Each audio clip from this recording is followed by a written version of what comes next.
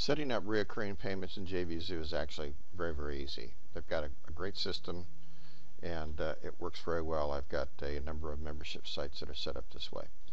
The first thing you want to do is you just uh, you add a product to your product mix and you'll see we come down here in my uh, products you'll see the little um, indicator here which is the little green arrows and that basically shows you right here we've got two of them back to back that's a reoccurring payment so when you uh, when you set this up, you'll set up your um, information from within um, the uh, JVZoo interface, and you just click on subscription or multiple payments. Um, the, the, the only way that they have their set up right now is by a month.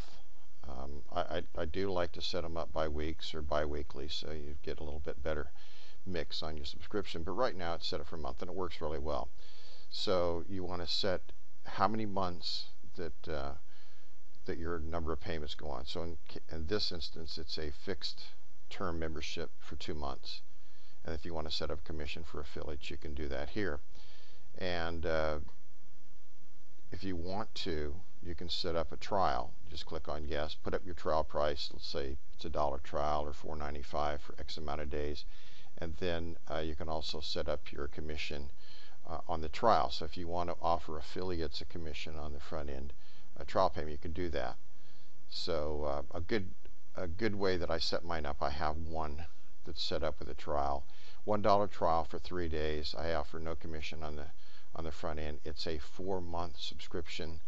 So I you know every one month they uh, get billed and the number of payments because it is a fixed term membership is four. And that's basically it.